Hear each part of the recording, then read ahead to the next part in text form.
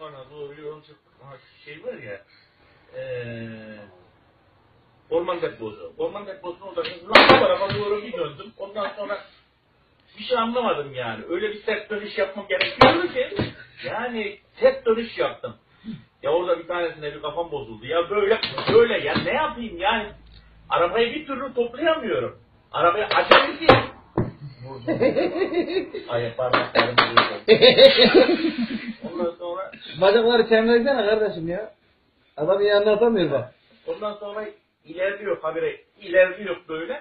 Ya böyle şimdi ne yapacağım şimdi yani? Bir türlü bu şeyi arabayı acemiyim. Şey demek dönmüyorum bir türlü. Bir dönsem anasını belleyeceğim o sanırım da.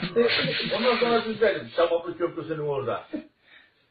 Şabaplı Köprüsü'nün orada bir düzledim. Ondan sonra böylesine bir döndüm. Bir böyle.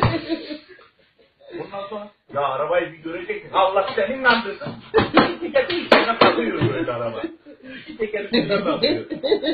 Ya arabanın içinde bir böyle, bir böyle, bir böyle, bir böyle gelmekten yani göreceğiz. Harap oldum.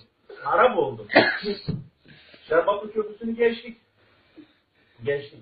O ileride bir villa gibi bir yer var ya. Ha oraya doğru var ya. Ne o ağa mıdır, paşa mıdır, o karı ne? Ya işte Almancı karı. Almancı karı. ya oraya varıp böylesine Buzlanmış.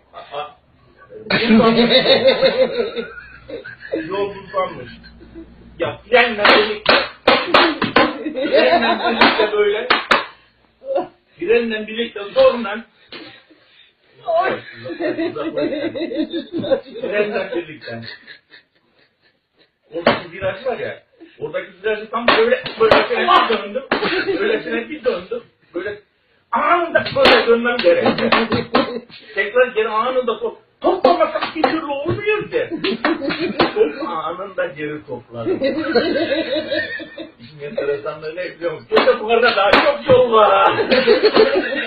daha şabaplıyı geçmedik. Kurban olayım. Hadi kızı gitme. Olmaz. Da burada zaten. Gölden gel, gel, koluna gel.